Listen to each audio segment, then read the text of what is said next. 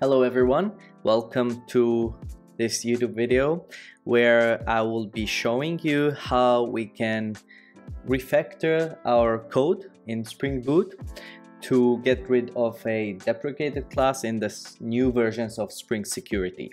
So here I had a, um, a relatively old project that I decided to upgrade uh, the Spring Boot version to the latest and uh, yes I just realized that from this version and up which is the 2.7.1 uh, version I upgraded my Spring Boot to uh, but also the latest versions of Spring Security uh, which is uh, 5.7 and above I think. Um, yeah they have deprecated the web security configurer adapter I will uh, share my screen now and we can take a look how I will be refactoring this class. So it works just as it was working before but now doesn't use the deprecated class. So here we have um, our security config which is yeah standard in a Spring Boot application. Um, we have always extended the web security configurer adapter and then down here we over uh, yeah we were overriding the configure method and this other configure method where we were basically registering uh, our custom user detail service and also the password encoder. So without further ado let's get started. And first thing that what I'm gonna do is I am going to get rid of the web security configurer adapter as you can see here, there are also some unused code which I can also get rid of.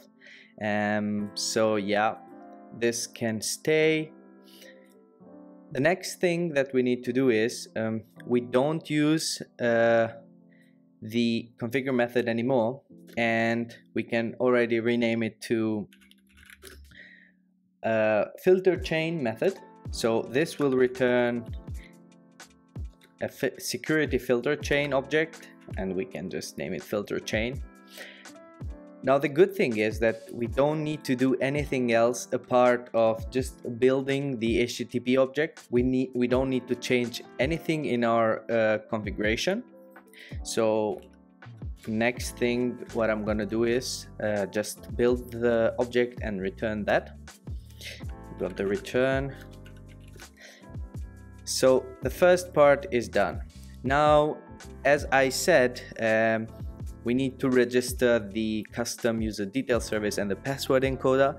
And the new way of doing this is um, we are actually returning a uh, DAO authentication provider. Uh, this is a new class in the new version.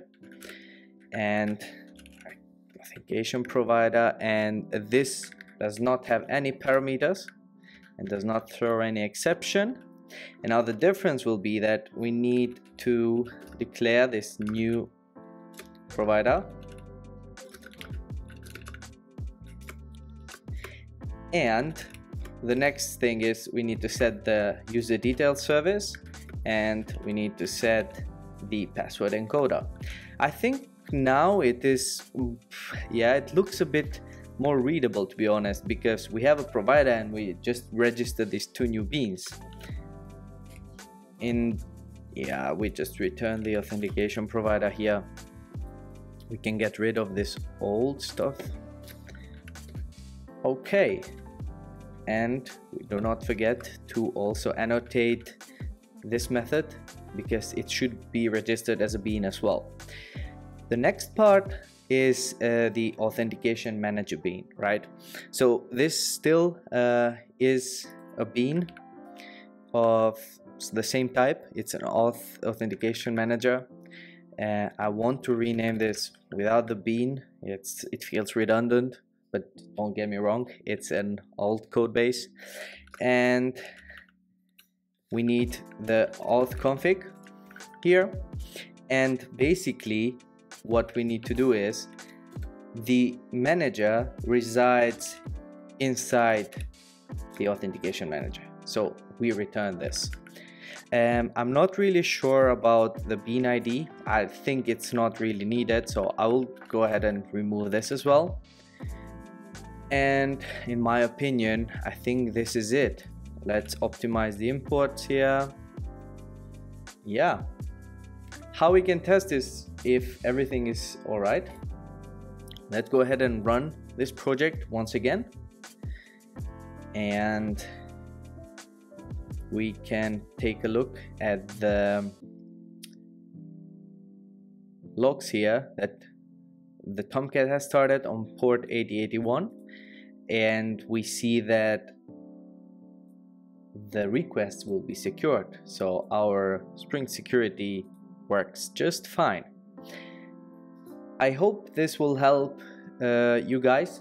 Uh, in my case um, it wasn't very difficult to find out how to do this but I think everyone who will need to upgrade this, their Spring Boot uh, versions can take a look at this video and yeah just use it quickly.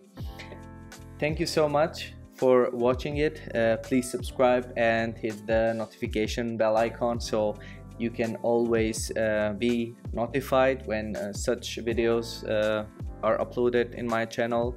And I wish you all a great evening and see you on the next one